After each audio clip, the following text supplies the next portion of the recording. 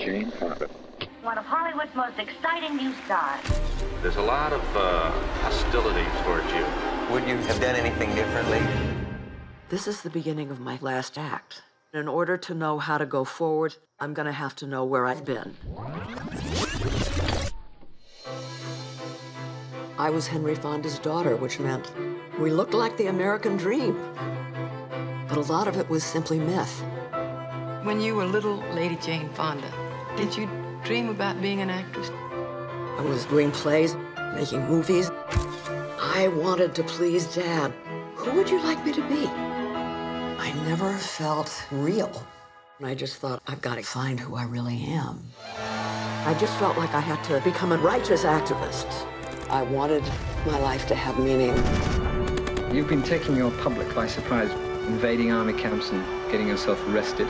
I'm proud of most of what I did, and I'm very sorry for some of what I did.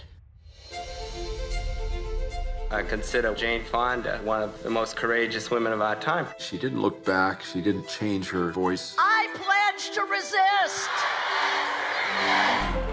None of my marriages were democratic because I had to be a certain way. I had to look a certain way. Am I attractive to you? She's lived her life in front of us. Any healthy country, like any healthy individual, should be in perpetual revolution. It took me a really long time to find my own narrative. But, um, I am what I am.